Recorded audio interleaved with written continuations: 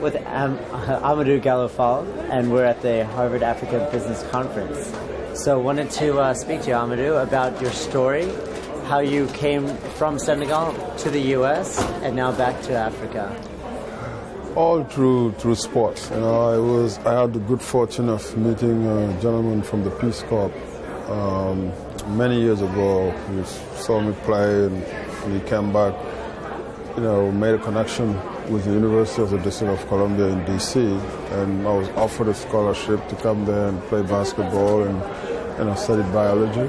Uh, my goal was to go to medical school, and then you know join an organization like uh, Médecins Sans Frontières. But I was very inspired by what they were doing uh, growing up, in terms of just you know offering relief and having an impact in communities that they necessarily didn't have that's not where they were from, but it's just to, to speak to the, um, you know, humanity in terms of using medicine to impact uh, communities. I was always passionate and interested about Africa and its development.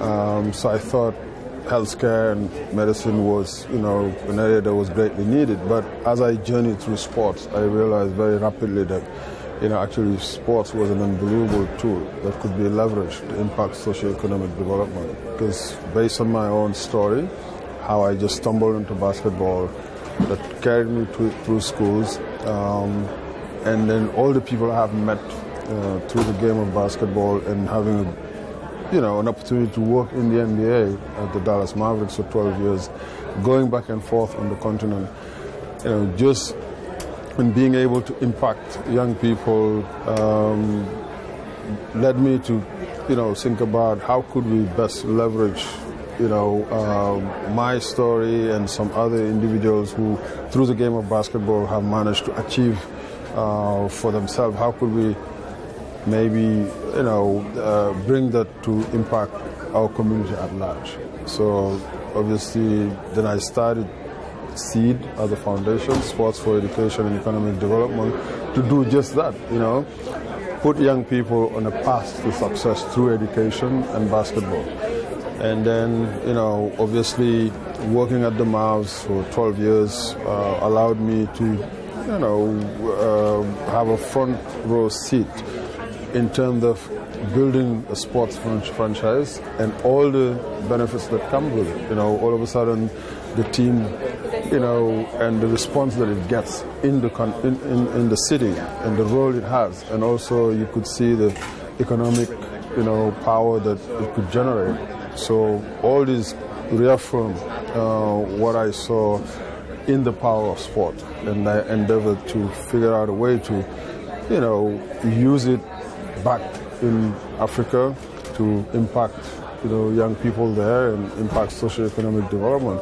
So this is why when the NBA decided to open an office in Johannesburg to launch NBA Africa and you know uh, look for me to uh, lead the charges, I didn't hesitate one second. So we've been in Johannesburg since uh, May 2010 to really you know build the NBA business.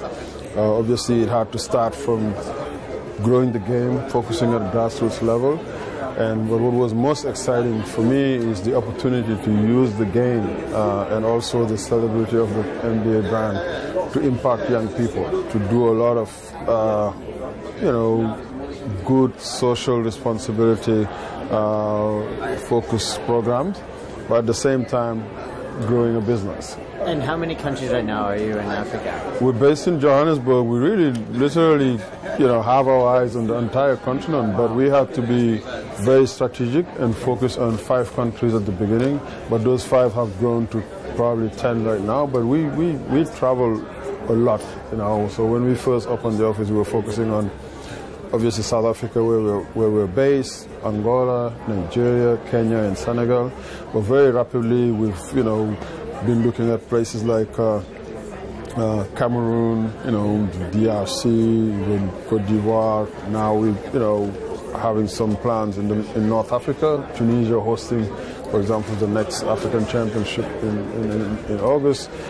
And through Basketball Without Borders, obviously we cover a lot of countries. So we have over 35 countries that have participated up to this point, where you know sending the best young 18 and under uh, players, and also you know some of the top you know uh, girl players to come and you know receive instruction in basketball, but at the same time, um, you know, we bring role model to impart uh, life-changing, you know, uh, skills. You know, you know, because all the those that are attributed to the values of our game, which teaches young people to be perseverant, to be hard workers, to be disciplined, to learn to work as a team. Uh, those are important lessons that all successful people have in common. And that's what we try to achieve through the game of basketball. It's amazing. It's amazing stuff, and uh, it's great for you. Thank you so much for being here today. I know that you have a busy schedule and have to uh, run off and everything now, but thank you so much again for everything. Great to be here. Thank you. It's a pleasure, Amadou. Thanks.